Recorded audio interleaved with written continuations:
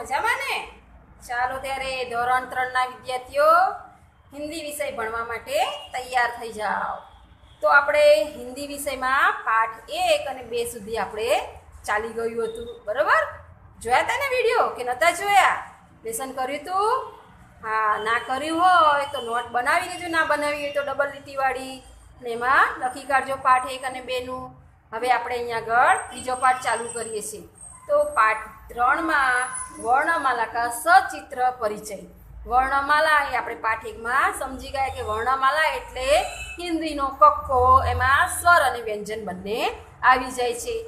સચિત્ર સચિત્ર એટલે ચિત્ર સાથે તેનો પરિચય કરવાનો છે. તો એમાં જુઓ, પહેલાં આપણે સ્વર વિશે શીખીશું. બરાબર? તો સ્વરમાં આપણે વર્ણમાલામાં સમજી ગયા હતા ને? અ, આ ઈ વાળું. તો એમાં અ એટલે અનાર. અ અનાર કા અ. બરોબર? પછી અનેકાનો આ આવ્યો તો. એટલે આ ઉપરથી કયું ચિત્ર બન્યું?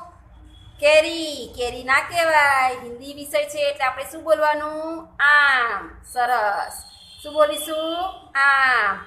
આ આમ. અનારનો અ હતો ને આનો આમ. બરોબર?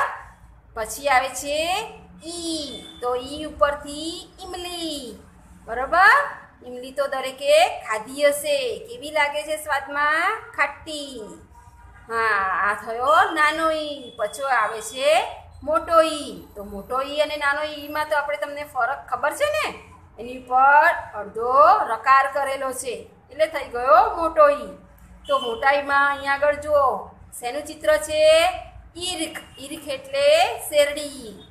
બરાબર? ખાધી છે ને દરેકે હા, તો ઈર્ખ એટલે શેરડી. બરોબર? પછી ઉ કયો ઉ છે? નાનો. ઉપરથી ઉલ્લુ. ઉલ્લુ એટલે ગુવર બરોબર? સાથે સાથે આપણે ગુજરાતી શબ્દ પણ લઈ લઈશું એટલે દરેકને ખ્યાલ આવે કે ગુજરાતીમાં શું કહેવાય. એટલે દરેક વીડિયો જોતી વખતે ધ્યાન આપશો કે હિન્દીમાં શું કહેવાય અને ગુજરાતીમાં શું કહેવાય. બરોબર? પછી આવે છે મોટો ઉ. મોટો ઉ એટલે નાનો ઉ અને મોટો ઉ. બરોબર? શું બંનેમાં શું તફાવત છે ખબર છે ને? હા, તો જોઈ લો. બરોબર? નાના ઉમાં ઉલ્લુ અને મોટા ઉમાં ઉ ઉપરથી ઊન. ઊન તો દરેકે જોયું છે. તમે સ્વેટર પહેરો છો એ શેમાંથી બનાવે છે? ઊનમાંથી. તો ઊનને ગુજરાતીમાં પણ ઊન જ કહીએ છીએ આપણે.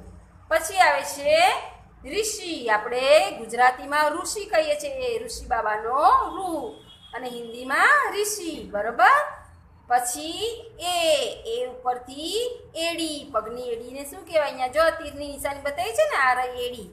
હા, તો આ એડી કહેવાય, બરોબર? ગુજરાતીમાં પણ આપણે એને એડી કહીએ છીએ. પછી આવે છે એ, ઐ અને બે માત્ર ઐ, ઐનક. શું કહેવાય? ઐનક ઐનક એટલે ચિત્ર પરથી તમને ખબર પડી ગઈ છે કે ઐનક એટલે ચશ્મા, સરસ. પછી આવે છે ઓ, તો ઉપરથી ઓખલી. શું કહેવાય?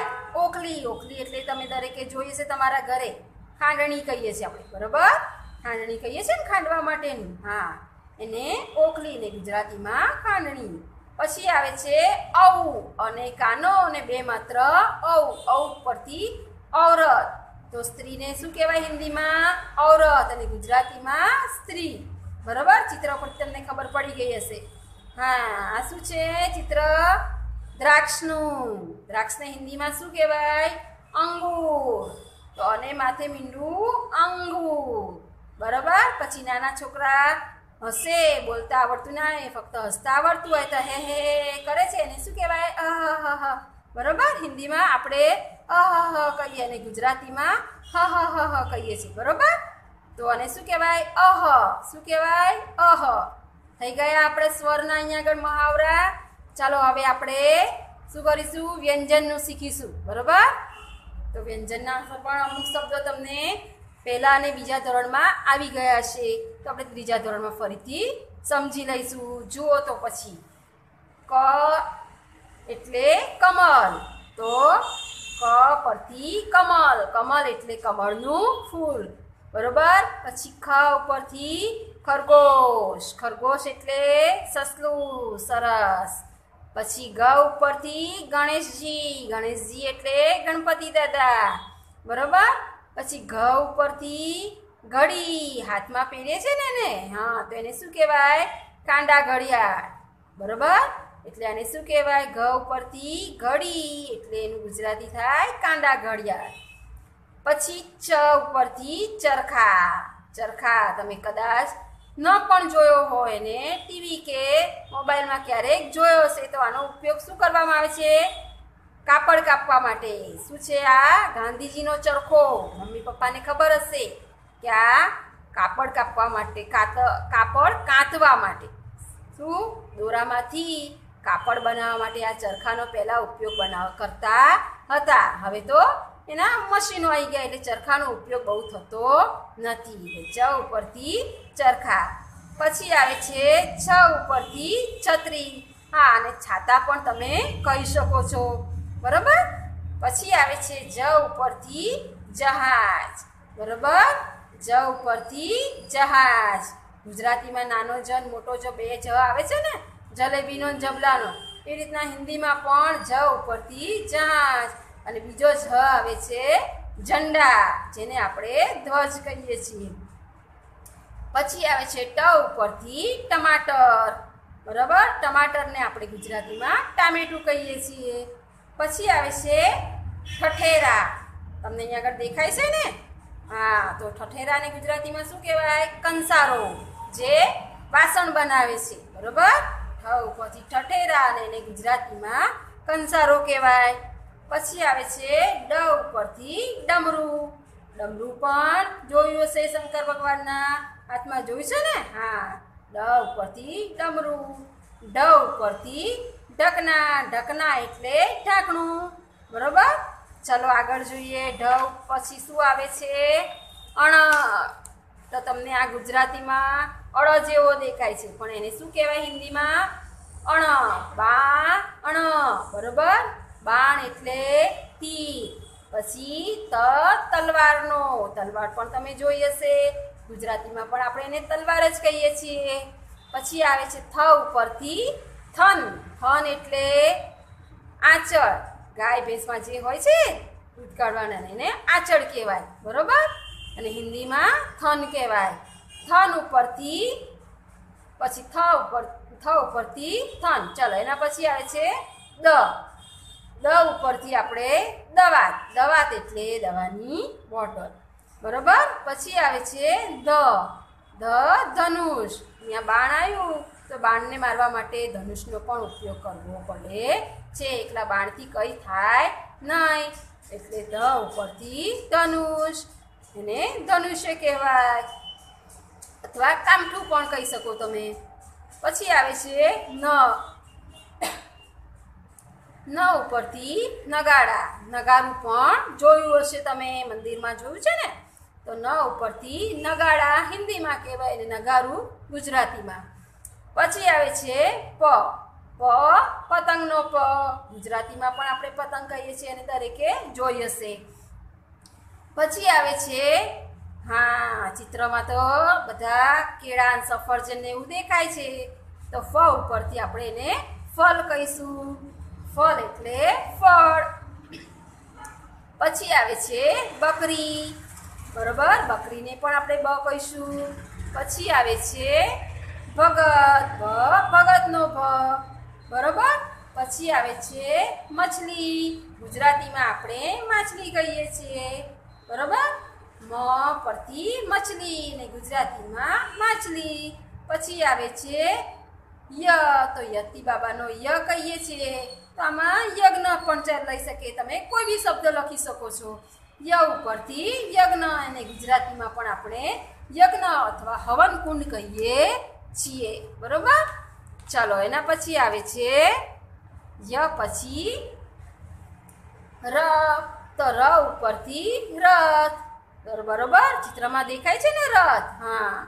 પછી લ લ ઉપરથી લડકી લડકી એટલે છોકરી. પછી આવે છે વ વ ઉપરથી વજન. આ વજન પણ તમે દરેક દુકાનોમાં જોયું હશે. બરોબર? એને વજન કહીએ છીએ આપણે. પછી આવે છે શ. સ ઉપરથી શરબત, મીંડાવાળો શ. શરણાઈનો શ ગુજરાતીમાં કહીએ છીએ ને આપણે. તો આમાં આપણે શરબતનો શરબત પણ તમે બધાએ પીધેલો હશે.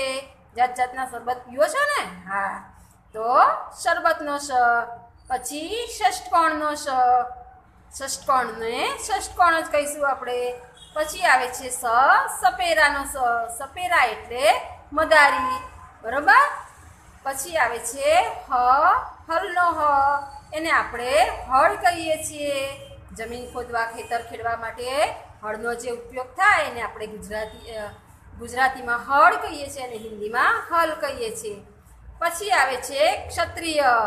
હા, તો ક્ષત્રિય કોને કહેવાય? હા, લડાઈ કરે, દેશની ગામની શહેરની રક્ષા કરે એને ક્ષત્રિય કહેવાય. પછી આવે છે જ્ઞ, તો જ્ઞાનીનો. તો અહીંયા તમને ચિત્ર તમને દેખાય છે કે આ તો સ્વામી વિવેકાનંદ છે. તો સ્વામી વિવેકાનંદ ખૂબ જ જ્ઞાની માણસ હતા, બરોબર? હા, તો જ્ઞ ઉપરથી જ્ઞાની, પછી આવે છે ત્ર, તો ત્ર ઉપરથી ત્રિશુલ આ પણ તમે મંદિરોમાં જોયું હશે, તો ગુજરાતીમાં પણ આપણે એને ત્રિશૂળ કહીશું. લની જગ્યાએ અળ લખવાનો છે. પછી આવે છે શ્ર, તો શ્રવણ. શ્ર ઉપરથી શ્રવણ. બરાબર? અહીંયા આગળ અણ ગુજરાતીમાં લખીએ અને આમાં અળ જેવું દેખાય, એટલે શ્રવ અણ, ચાલો ત્યારે આપણા વ્યંજનો પૂરા થઈ ગયા અહીંયા આગળ. સમજણ પડી ગઈ ને દરેકને? હા, તો હવે આપણે અહીંયા આગળ જોઈએ પાછળ એનું સ્વાધ્યાય. બરોબર? તો સ્વાધ્યાયમાં તો તમે આગળ ભણી ગયા હશો કે આ તો સ્વર અને વ્યંજન આગળ લખ્યા હતા એ પ્રમાણે જ છે. હા, પણ આપણે ફરીથી એકવાર આપણો મહાવરો પાકો થાય એટલા માટે આપણે ફરીથી વર્ણમાલાના શબ્દો સ્વર અને વ્યંજન નોટમાં આ પણ એક વખત લખી લેવાના છે. બરાબર? સુંદર અક્ષરે તો જો અ, આ, ઈ ઈ, ઉ ઉ, રી, એ, ઐ, ઓ, ઔ અને અહ. થઈ ગયા આપણા સ્વર? ચલો, હવે વ્યંજન જોઈએ આપણે. તો વ્યંજનમાં ક, ખ, ગ ગ, ડ ચ, છ, જ જ જ, ટ, ઠ, ડ ઢ અણ, ત, થ, દ, ધ, ન, ફ ફ, બ ભ મ, ય, ર, લ, વ, શ શ શ, હ, ક્ષ જ્ઞ ત્ર અને શ્ર. બરાબર? આમાં અળ આવશે નહીં. એની બદલે આપણે અળની જગ્યાએ શું લખતા હતા? લ લખતા હતા. એટલે ગુજરાતી અને હિન્દી પક્કામાં આટલો તફાવત રહેશે. બરોબર? તો હવે વિદ્યાર્થી મિત્રો, આપણે ત્રીજા પાઠનું હોમવર્ક કેવી રીતના કરવાનું છે? તો આગળ તમારે જે અહીંયા આગળથી શરૂ થાય છે ને, સ્વર અને વ્યંજન સચિત્ર, તો આમાં તમારે ચિત્ર નથી દોરવાનું. ફક્ત અ લખીન અ ઉપરથી અનાર. આ લખીન આ ઉપરથી આમ. બરોબર? એમાં વિડીયોમાં જોઈ, સુંદર અક્ષરે, અ, આ અને એના સામે જે શબ્દો આવે છે, એ તમારે લખવાના રહેશે. બરોબર ને? બધું ખબર પડી ગઈ ને? હા, આ પણ લખવાનું છે. પછી, આ પણ આગળ બતાવે એ પ્રમાણે અળ લખીન બાણો, એવી રીતના બધા શબ્દો તમારે લખવાના છે. તમારી પાસે સમય ઘણો છે, એટલે લખવામાં આળસ કરતા નહીં. એવી રીતના આ પેજ પણ લખવાનું છે અને એનું સ્વાધ્યાય પણ સુંદર અક્ષરે નોટમાં લખશો, બરોબર? જ્યારે પણ સ્કૂલે આવવાનું થાય, ત્યારે તમારી નોટો તૈયાર હોવી જોઈએ, બરોબર ને? સારું, ત્યારે ફરી આપણે આવતા પીરિયડમાં મળીશું. ચાલો, આવજો.